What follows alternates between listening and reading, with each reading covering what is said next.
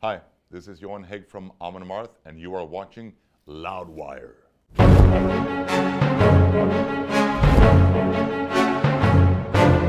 Hey everyone, Gruhamed here for Loudwire, and I'm here with Johan from Amon Amarth. Thank you so much for coming, man. Hey, my pleasure, man. Appreciate your time. This is Wikipedia Fact or Fiction. All right, Scoured awesome. through your guys' Wikipedia page, albums, the bands, everything like that. So you can prove or disprove what's on there and elaborate if you so choose. All right. All right. Uh, it says that first off, Amon Amarth emerged from a grindcore band called Scum. It's true. I'm not sure if it was grindcore.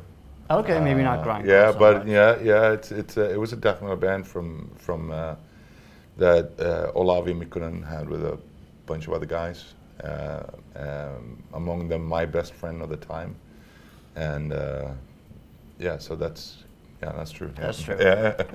It, it kind of got mean to Scum on uh, Wikipedia for some reason. It said Scum made no impression upon the Stockholm metal scene, but then you replaced uh, Scum's singer, and it was your imposing stature and Thor-like growl that began to shape the image and the sound of Amon Amarth. That's a huge exaggeration.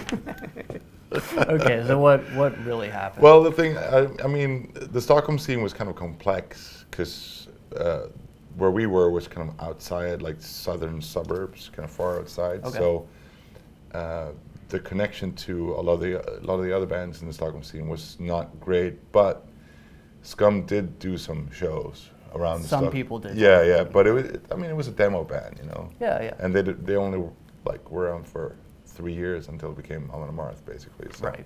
Um, and only released one demo tape. Um, but the the fact is that they kind of split up in 1991, and uh, uh, then I joined the band because, uh, well. I was on a vacation with Olavi and uh, Vesa, who was my best friend, and the other guitar player was gone. And I asked him if they, sh- if they should put the band back together. And uh, they said, well, we don't have a singer. And I said, I could try out. And Really? that's, that's kind of how it got together, you know, how we, how we, how we did it. And um, so, but it, I mean, it, it wasn't exactly my, my bleak attempts at growling that brought the band forward. I think, I think you have to blame Ollie on that, you right? Yeah, he, he's always been kind of the driving force behind the band. So without Ollie in the band, I don't think we would be where we are today.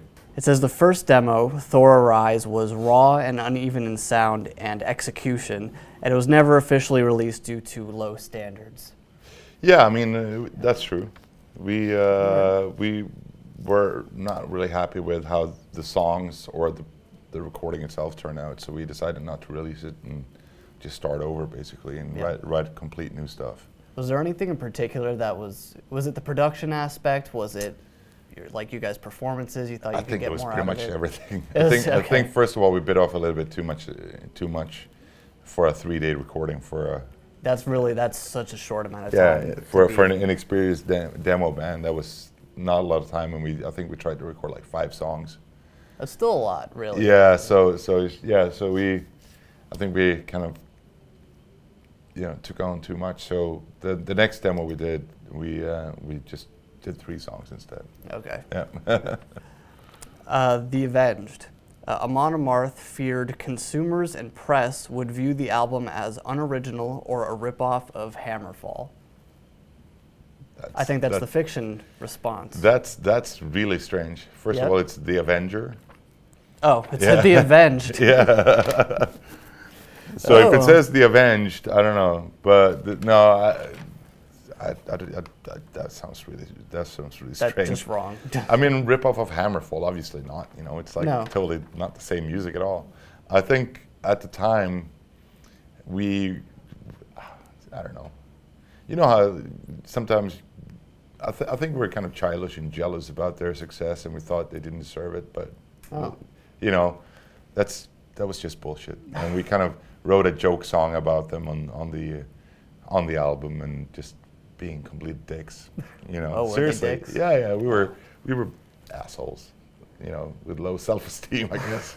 I don't know, but we were being dicks about it, you know, and and uh, we kind of talked talked to the guys in Hammerfall about it and kind of settled everything. And they're really cool guys, and Okay. you know, you know, it's it's uh, it's one of the thing, one of those things where you kind of at some point have to grow up and realize that the world is not about you, right? With Oden on our side, the background depicts the Valknut, a symbol of which its meaning is uncertain, uh, though archaeological evidence clearly shows it to be associated with Odin. That's true. Uh, it is it is a symbol of Odin. Okay. Uh, exactly in what sense, I, I'm not really sure actually. Okay. But it, it is a symbol of Odin, so that's why we chose it to but have there's it a bit of mystery as to It's a little bit history. of mystery. Yeah, yeah. I'm, I'm. I think, I think it, it's a symbol of eternity and power, but I'm not, I'm not a hundred percent certain. So I should probably stop talking. it. Otherwise, you're gonna, you're gonna have that on Wikipedia. It's like, Uh, and it's Yeah, even more if- fiction. yeah, Yeah, yeah, yeah, it's, yeah. it means whatever you want yeah, to exactly. mean. Uh, Twilight of the Thunder God. It's based on Thor's slaying of the serpent Jormungandr. Yeah. yes. That's How do I pronounce that properly? Uh, yeah, yeah. Jorm- Jorm- Jormungandr. Yeah. Okay, I was close though. Yeah, it's not not far off. All right. What was it about that story that inspired you to write a full album? well, it's a song, really. You know, the song Oh, is about that. Yeah, Twilight the the song, Yeah, and the then- album. okay, gotcha. Yeah, but it, yeah, it, it's um, it's one of the most like important parts of the the of Ragnarök, which is the end of the world in Northern mythology, Okay. uh, where Odin uh, fights the big like wolf called Fenris, and Thor fights uh, Jormungandr, hmm which is the world serpent, uh, the serpent that circles the earth. Oh, It's okay. it's it's it's it's too far. It takes too long to explain. Uh, yeah. Yeah. So so this is about his fight, and in that fight, he kills the serpent, but he himself dies as well. Uh, it said that Amon Amarth played its first show i- in India in December 2009. Yeah. Yeah. Sounds about right? Sounds about right. Yeah. Bangalore. Yeah, yeah, Bangalore, the Yeah. Deccan Rock Festival. Yeah. That's got to be amazing to go so far away.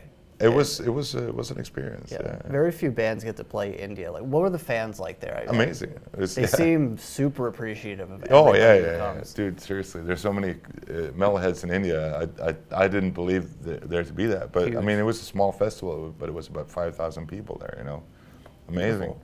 Great, great show. I mean, given that the stage was like, like corrugated, like you know.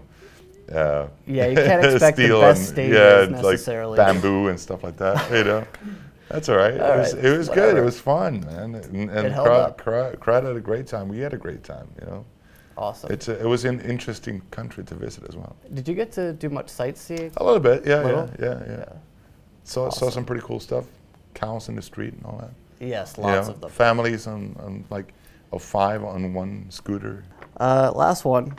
It says you and the band have never liked the term Viking metal to describe your music. Um, it's kind of a something that kind of got I think misinterpreted. It's Okay. kind of right, but it's slightly off. Because I what I said was that I like I, I think it's weird to describe music uh, in in a term where which where the, the term for the music uh, or the term for the band is taken from the lyrics. Sure. So if, if, if you're going to describe a band uh, based on the lyrics, well then Led Zeppelin is Viking metal, Iron Maiden is Viking metal, Enslaved is Viking metal. You know. Every Tolkien influenced Yeah, band. yeah, yeah. So it's it's like.